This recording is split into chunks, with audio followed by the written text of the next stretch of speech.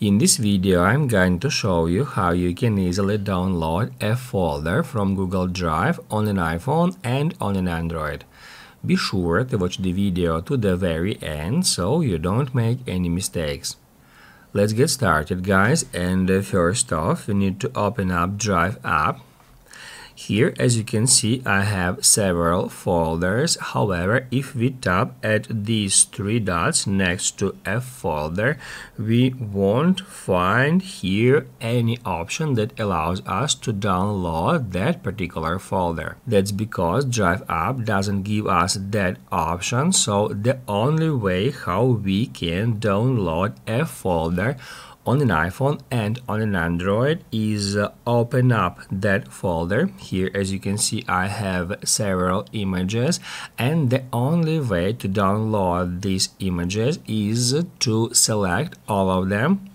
To do that, uh, just a long press at the first file and then tap right here at that button to select all files in that directory. After that, we'll be able to hit right here at these three dots. And here we'll find download button.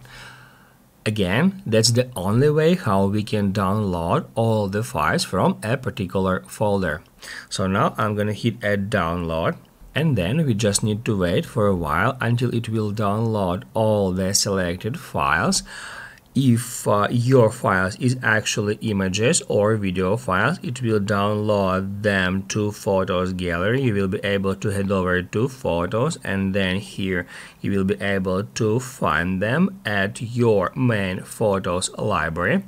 However if you have downloaded files such as uh, for instance a pdf file maybe word document mp3 file then you need to search for those files add files app on an iPhone and on an Android. These apps named in the similar way, maybe file manager or something like that. Just uh, open it up and then head over uh, to the directory which is called uh, on an iPhone it is called on my iphone and that's where at downloads folder you will find the files you have recently downloaded. That's basically guys how you can download files from google drive on mobile. If this video was helpful for you don't forget to hit the like button